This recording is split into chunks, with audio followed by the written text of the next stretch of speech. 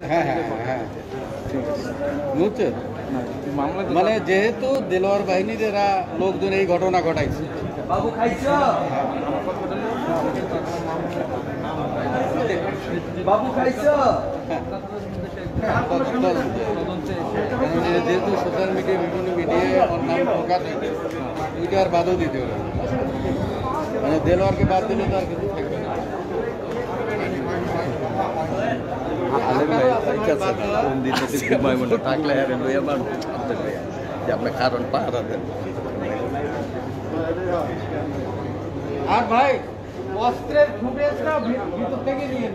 দর্শক আপনারা যারা যুক্ত হয়েছেন আপনারা দেখতে পাচ্ছেন যে নোয়াখালীর যে বিবস্ত্র করে যে বিভৎস যে নির্যাতনের ঘটনা ঘটেছে সেই ঘটনায় দুই আসামিকে গ্রেপ্তার করতে সক্ষম হয়েছে।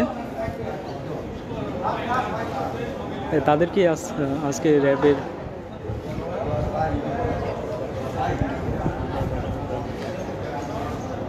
নারায়ণগঞ্জের সিদ্ধিরগঞ্জে র্যাব এগারোর কার্যালয়ে তাদেরকে হাজির করা হয়েছে। গ্রেপ্তারের পর তাদেরকে এখানে আনা হয়েছে। একজনকে আহ, কামরাঙ্গীর চর থেকে র্যাব একজনকে কামরাঙ্গীর চর থেকে গ্রেপ্তার করা হয়েছে এবং একজনকে চিটাগাং রোড থেকে গ্রেপ্তার করা হয়েছে।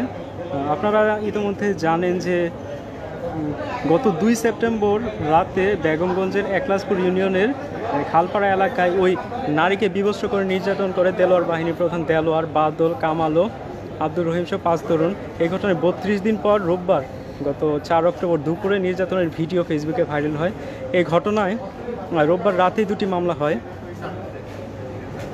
এদিকে গত রোববার গভীর রাতে অভিযান চালিয়ে নারায়ণগঞ্জের সিদ্ধিরগঞ্জে চিটাগাং রোড এলাকা থেকে ওই ঘটনায় নেতৃত্ব দেওয়া দেলোয়ার বাহিনীর দেলোয়ারকে গ্রেপ্তার করে আহ, তাদের তাদের তাদের কাছ থেকে অস্ত্র উদ্ধার করা হয়েছে।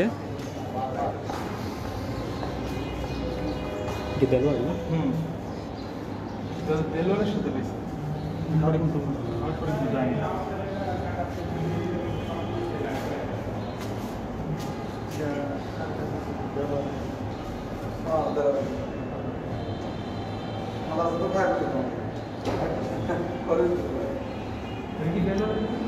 ছিল না? তারা কি বাইরে দেখে